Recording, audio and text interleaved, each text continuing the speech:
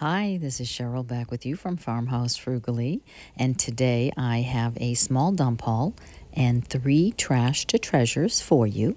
If you are new at Farmhouse Frugally, I do a lot of different crafts and furniture flips. We have a wonderful dump where we're able to take and leave whatever we want, so the dump hauls are phenomenal. And then I take a lot of those items and turn them from trash into treasure. So this week, my husband went and brought home 16 of these small glass vases that someone probably used for a wedding. I ran them through the dishwasher, and I will show you in a minute what I did with them. My friend who lives in the same town found this beautiful bench and it needed a little love. She gave it to me. I found this adorable stool or ottoman on the side of the road on my way to work, so I had to pick that up. And then the day I went to the dump with my husband, found this really cute um, children's stool, which I think I might fix up for our church nursery as we are almost finished with that project and this gorgeous vintage child's high chair. I cannot wait till the weather is warm enough to sand this down and see what the wood looks like underneath. So right now I am going to get into three trash to treasures from some of the recent dump hauls. So item number one was to use some of those glass vases. Um, I have a reason to use these, but I'm not ready to tell you about it just yet. So I pulled out some of the eggs and some Spanish moss and some sticks, and I just went ahead and formed some nests inside um, a dozen of those glass containers and uh, added a little bit of green moss on top of the Spanish moss just to give that a little bit, a little bit of brown moss, a little bit of dimension the more you add. A um, couple of sticks just to make that look more like an actual uh, bird's nest. I put one egg in each of those, and then I took out my paper clay and my little bird mold. Now, unfortunately, I did not have a bigger mold, but I thought I would at least give it a try. So I pushed the um, clay into the mold and then um, just pushed it right out of the mold, forming those little birds. And then I put them right in there wet and let them dry as they were. And of course, the bird is smaller than the egg, so we'll see about that. But then it needed a little something extra, so I went into my craft room and found these beautiful little uh, feathers that I had gotten, I believe, at the Michaels maybe. And I put one or two feathers in each of those birds' nests just to make that realistic. And so I thought that these came out really cute. And if you stick around in the next couple of weeks, you're going to find out just what I plan to do with those. On to number two. So, this past fall, when my husband was at the dump, he came across this beautiful antique medicine chest or medicine cabinet that has a scalloped type top, beveled glass, um, an original keyhole. Um, I right away did not like the metal rod at the bottom. Um, but other than that, I definitely saw some incredible potential. So he found a key in some of his clock keys and he was able to open it. And inside, it just needed to be cleaned. Um, I thought about painting it or putting some wallpaper or some paper in there, but I decided against that. So we removed that metal rod because I have a better idea for that. And then, of course, cleaned that entire thing. I make my own cleaner a lot of times, people want to know. I used uh, white vinegar. I use uh, orange peel and I soak the orange peel in vinegar and uh, then just strain that off after a couple of weeks and uh, add a little bit of water and I just sprayed that clean. And then I did have to get some of the paint off of some of the hinges and then that uh, keyhole that just came right off so that was wonderful and then I was able to remove that hook and eye that they had closed it with before I decided to paint it. And um, I kind of wanted it to be a blue green. I had a green already in my stash, so I just went ahead and added a deeper nautical blue until I got a blue green color um, that I liked. And then I just went ahead and painted that with it has kind of a latex feel because the green paint was primarily um, latex, but uh, the blue paint was a chalk paint. So a mixture, which you can definitely mix those two. So once that was um, completely covered with one coat, then I went ahead and turned my attention to replacing that metal rod with a um, spindle.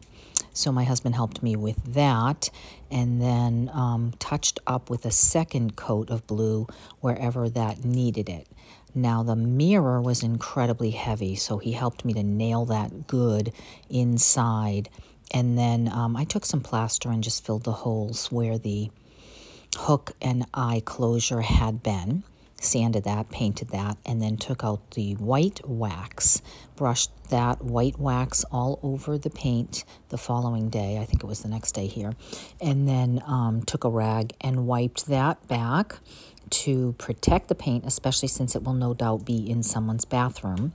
Um, but also, I like the way that that white paint works over the blue. And then I did take some antiquing wax and some blue paint, and I tried to just kind of make that key look a little bit more antiqued or dingy looking, not quite so new and clean. I tried a couple of different things on that before I got a look that I liked better. Um, use some screws on either side of the spindle to keep that in there nice and firmly so that, uh, you know, you could hang a towel or something from that, but just looks so much nicer than that metal rod that had been there. And here it is, propped up on my bench because I do not want to put those holes in my walls because it's very heavy. And so um, I really love the color. I love the way that it came out. I think it's going to sell quickly. They go for a hundred bucks. I can't believe it. And then I just put some things inside. If you're ever looking for holistic products, New Hampshire Botanicals. You absolutely want to try that, especially if you have trouble sleeping. Buy the Relax. You rub a couple drops on the sole of your feet before bed, and you will be asleep in 20 minutes. And it works amazing. It is the best all natural sleep aid I have ever used on Instagram or um, Etsy. So NH Botanicals. Now, on to number three. I had picked up this little box. I think it came with, you know, teas or, you know, whatever, some kind of gift products for Christmas or what have you. It was at the dump and um, don't love the color at all. So I ripped out the red velvet yeah, that was in the interior. And I had this pink paint left over from that pink cabinet that I had done a while back. So I decided to make this very feminine for my four and a half year old niece. So um, she is just adorable and is going to love this. So I had this pretty napkin left over from a luncheon with some of my prayer group ladies last week, and I decided what a pretty combination that would be. So, um, you know, I tore off the white section of the napkin, cut out the middle section, and um, after I had painted that box pink, I just applied the Mod Podge underneath and on top of the napkin all the way around the box, giving it um, kind of a handkerchief um, look so that it would hang over the edge. I went ahead and Mod Podged it directly up, down, and around all the, you know, all the whole area. And then once it dried, I knew that I'd be able to take the X-Acto knife and cut that where it needed to be cut. Then you'll remember I had this real pretty wallpaper I cut and uh, attached to the interior, again using Mod Podge. And uh, I thought it came out really sweet. But I remembered that I had these little they're almost paper mache products that I had gotten, I think, at the dollar store a couple years ago. So I thought that they would be cute for her, and I just glued with wood glue one on top and one on the front, um, just to give that a little bit more uh, of a little spring tone, a little girl look. She can put her jewelry or whatever she has inside that box. And so uh, I put a little white wax over the whole thing to protect it.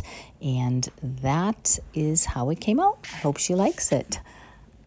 I decided to throw in a little bit of a bonus item here, not necessarily a trash to treasure so much as a craft. I took some of the waxed jute that you can get at the dollar store and other places because I had four tassels from a runner I didn't love, and my vacuum cleaner was going to one day eat it up. so I decided to cut them off, grab some beads, and one of those tags I had printed from um, one of the free sites in my spring video. And then I went ahead and just um, added the beads to the twine in a little pattern and then added the tag on one end, sliding the twine back up into the bead so that it would look finished after I knotted that off, and then adding the tassel to the other end. And you can make a tassel very easily on your hand um, if you want to reproduce something like this. These beads I did get at the dump. The tag I got free and the tassel I had already on my runner, so this didn't really cost me a thing. So um, once I got that all together, made sure it was nice and tight. I didn't want any gaps in the string. I went and just put it on my little tray with a bird and some other items I made in my recent spring video. So I love the way that that came out. I love using these tags. They're just a quick, easy, and inexpensive way to dress something up. So you'll have to let me know what you think about that. And I thank you for stopping by. I also, speaking of stopping by, had some visitors tonight on my bird feeder. Look at them. six of them. I only got a picture of three. They are so beautiful, and I am so glad that I got that opportunity to have them come and visit. So, hopefully, you will hit like and subscribe so you can stay tuned for my wonderful, exciting news that I will have coming up soon. Take care. I'll see you in the next one.